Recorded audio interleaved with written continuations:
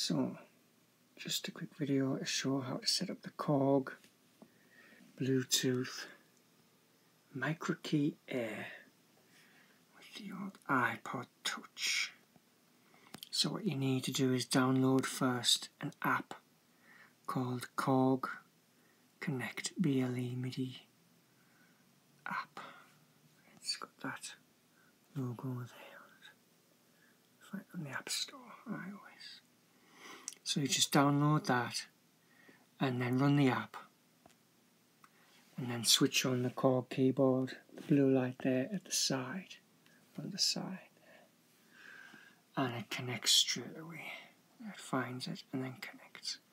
So coming out of that into um, Beatmaker 2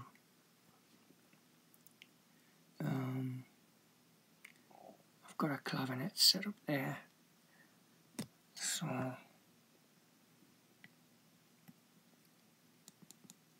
show you how if I'm using it or not.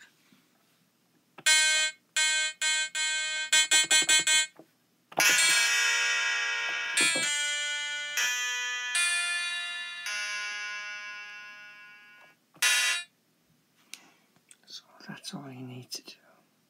And once it's plugged in, you can even use these buttons here go up and down the octaves. Further down, all the way down, and vice versa. So that's it.